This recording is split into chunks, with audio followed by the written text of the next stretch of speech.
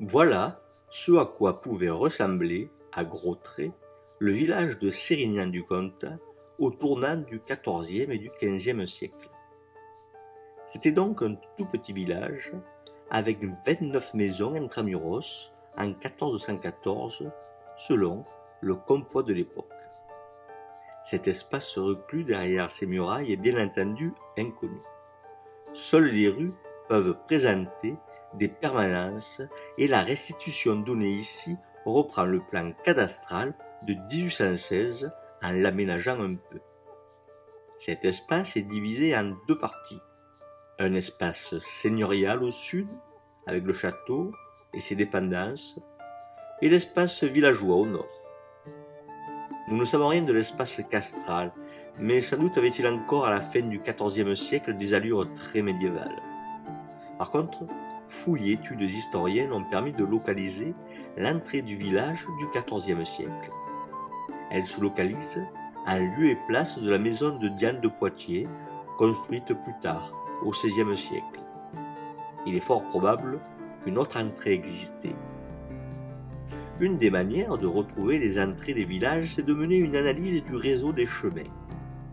En général, le village médiéval a polarisé les chemins. Entendez qu'un réseau de chemins en étoile part du village, centre du nouveau territoire qui remplace le territoire antérieur mis en valeur à partir de plusieurs centres, les villages médiévales. Cette transformation du réseau vierge se fait donc avec le temps, lorsqu'émerge le centre villageois, au XIe ou au XIIe siècle. Sur le plan parcellaire de Sérignan, on voit bien ce réseau étoilé, mais on ne voit pas converger de chemin vers une entrée potentielle, comme ici à Barjac, par exemple. Sauf ici peut-être, où convergent quelques chemins. Peut-être avons-nous ici une entrée indépendante et roturière.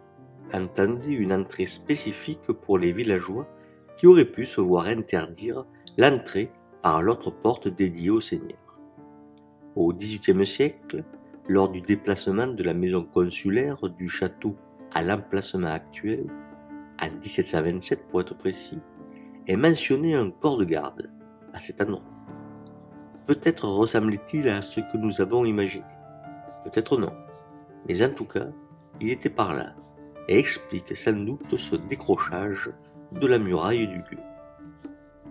On notera enfin le grand nombre des décrochages de ce tracé, repris d'une étude d'histoire de l'art.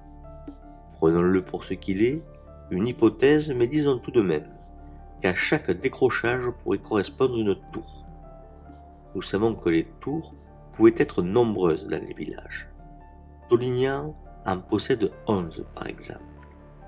Peut-être n'en avons-nous pas modélisé suffisamment, reste donc à les imaginer.